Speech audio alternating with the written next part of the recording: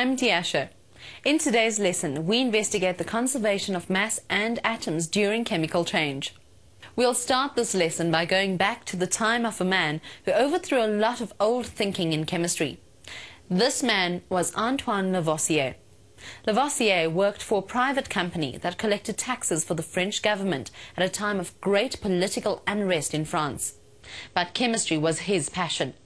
Lavoisier was sentenced to death by guillotine because of his involvement in tax collection. His execution was a tragedy for the development of people's understanding of chemistry. One of his colleagues said after his death, it took them only an instant to cut off that head, and a hundred years may not produce another like it.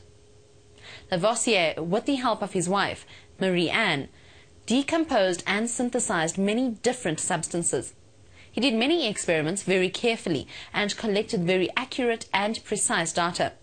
Lavoisier showed that the quantity to take notice of when investigating changes is the macroscopic property of mass. We measured mass too when we explored the changes involved in extracting copper from malachite, but we did it in a slightly different way to Lavoisier.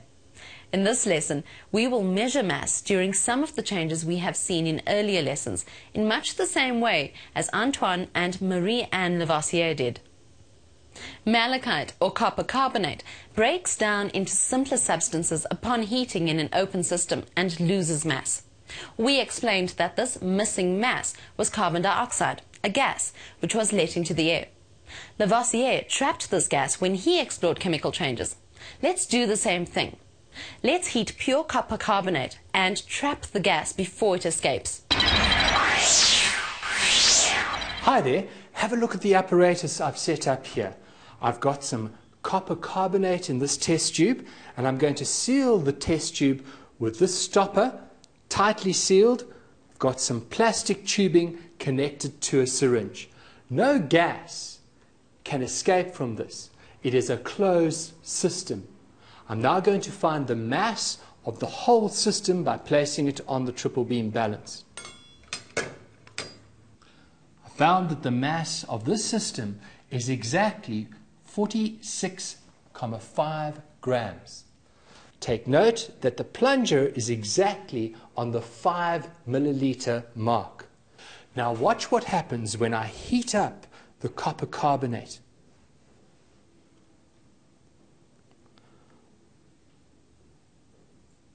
The copper carbonate decomposes to form copper oxide plus carbon dioxide.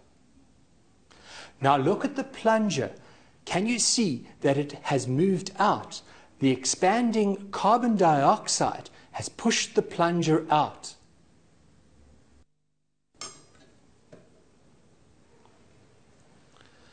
Now let's measure the mass of the system, and it hasn't changed the final mass of the system is still 46,5 grams.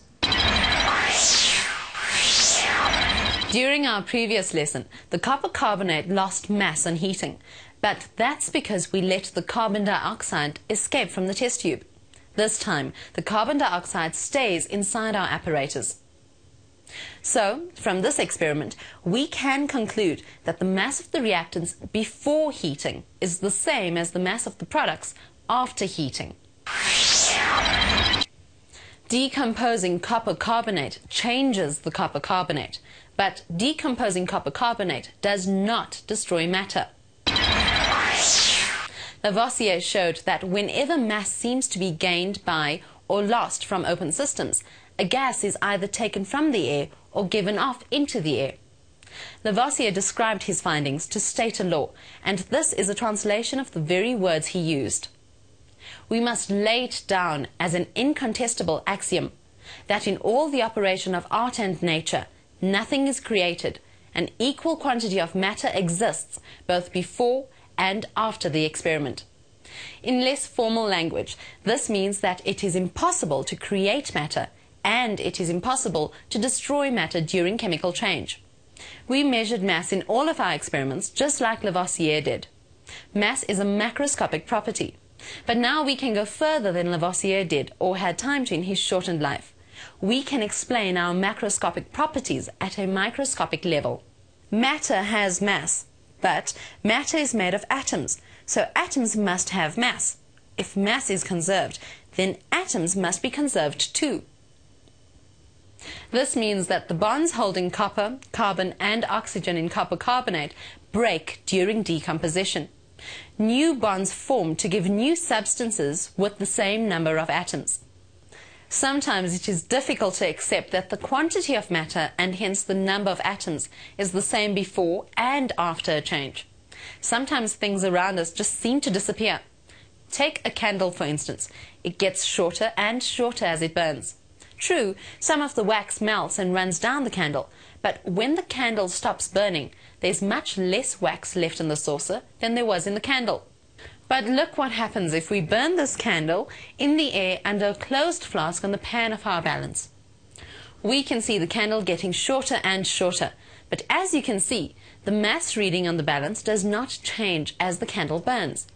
This shows us once again that the total mass of the candle and the air in the flask is the same before, during and after the chemical change involved in the burning. The products of the chemical change, the carbon dioxide and water vapor, are trapped inside the flask. They cannot escape into the air.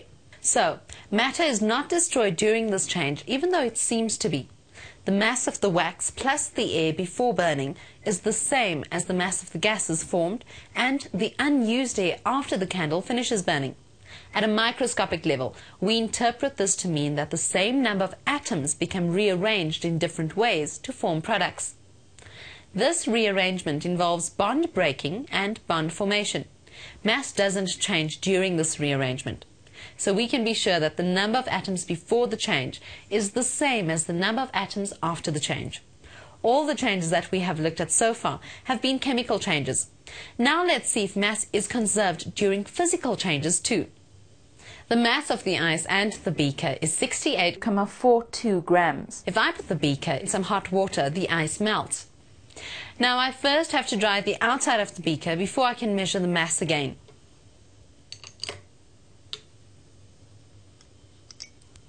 What do you expect that we will find? The mass of the beaker and its content doesn't change. It's still 68,42 grams.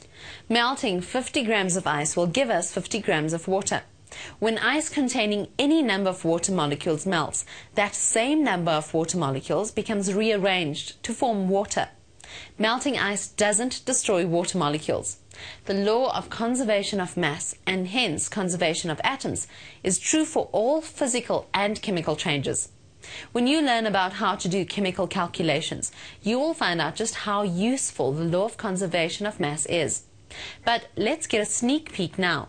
Imagine you react 40 grams of copper with 10 grams of oxygen. What massive product would you expect to find? We start by writing a word equation to represent the change. This is copper plus oxygen gives copper oxide. Copper and oxygen are the reactants and copper oxide is the product. This equation enables us to identify the reactants and the product. The law of conservation of mass tells us that the mass of the copper plus the mass of the oxygen equals the mass of the copper oxide. The mass of the product is thus 50 grams. Easy? If you thought so, you should also find today's task easy to complete. Here it is. Heating 247 grams of copper carbonate forms 159 grams of copper oxide. Write a word equation to represent this change. Use the law of conservation of mass to work out the mass of carbon dioxide that forms during the reaction. I'm sure that you have found today's lesson quite interesting. See you in our next lesson when we will start to investigate the behavior of gases. Goodbye.